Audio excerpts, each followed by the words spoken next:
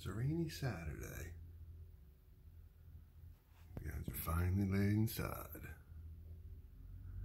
Had about 50 men out here about a half hour ago. I think some of them have moved down the street there. They were all out here not long ago.